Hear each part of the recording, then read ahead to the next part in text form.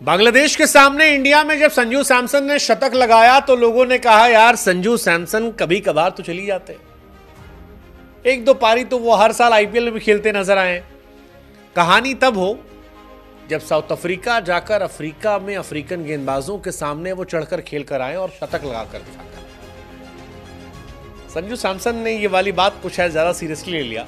और उसका नतीजा ये था कि संजू सैमसन भारत की हिस्ट्री के पहले ऐसे खिलाड़ी बन गए हैं जिन्होंने back to back T twenty international में शतक भाई साहब, जलवा संजू सैमसन का हो गया है और इस परफॉर्मेंस के बाद मानो एक बोल्ड स्टेटमेंट भी दे दिया है कि गुरु, अब आप जायसवाल को बाहर करते हो कि गिल को बाहर करते हो?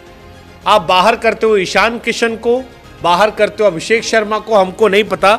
हमको सिर्फ़ इतना पता है कि संजू सैमसन को बाहर नहीं कर सकते और यह देखा क्योंकि संजू सैमसन ने सैतालीस गेंदों पर साउथ अफ्रीका के सामने शतक लगाया और अगर आपको लग रहा है कि यह पाटा पिच थी यह पिच वो थी जहाँ पर आ, कोई भी आएगा मारेगा जाएगा तो आपको बाकी बल्लेबाजों के स्टैट देख लेने चाहिए क्योंकि संजू सैमसन जब तक क्रीज पर थे 14 ओवर दो गेंद में टीम इंडिया का स्कोर एक सौ सड़सठ रन था 167 और संजू सैमसन के जाने के बाद टीम इंडिया आखिरी के पाँच ओवर चार गेंद, यानी चौंतीस गेंद में केवल 35 रन बनाती है और छह विकेट गवा देती है विच इज़ इनसेन छह विकेट टीम इंडिया गिर जाते हैं।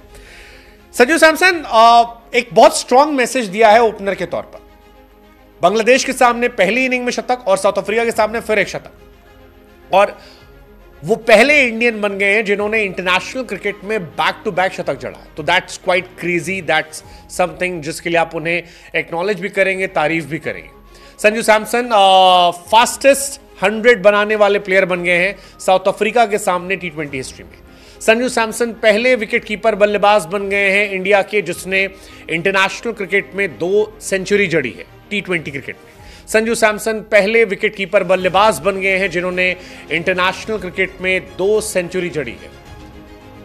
Sanju Samson. Now you can say the remember the name of the name is enough Sanju Samson बड़ी हैरानी की बात है कभी तीन इंटरनेशनल गेम भी बैक टू बैक नहीं मिले वन नंबर पर। लेकिन अब मिले तो फिर आ, कमाल करते गए।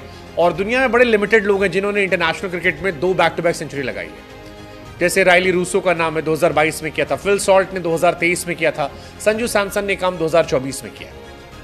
107 रन 50 गेंदों पर, सात चौके 10 छक्के और वन मैन शो था यार वन मैन शो था। मतलब बांग्लादेश के सामने इनिंग को तुक्का कहने वालों के मुँह पर मानो संजू सैमसन ने मुक्का मारा है और एक तरफा खेल कर दिया लास्ट ओडियाई इनिंग शतक था, लास्ट टी ट्वेंटी इनिंग शतक था और इस मैच में फिर शतक।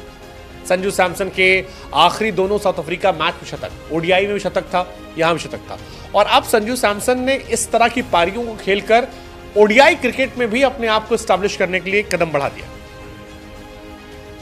संजू सैमसन के आखिरी दोनों टी ट्वेंटी इंटरनेशनल शतक है।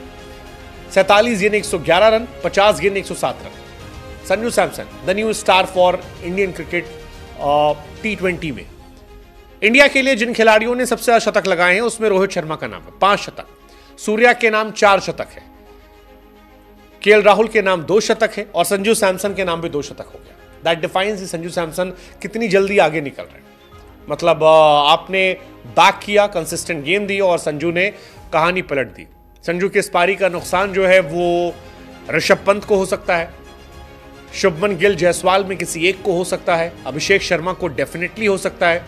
क्योंकि यार इतना आसान नहीं है। मतलब पाँच या पाँच से अधिक छक्का एक मैच में लगा देना इतना आसान नहीं है। और संजू ने करके दिखाया। संजू सैमसन ने कहा कि फ्लावर मत समझना फायर है मैं।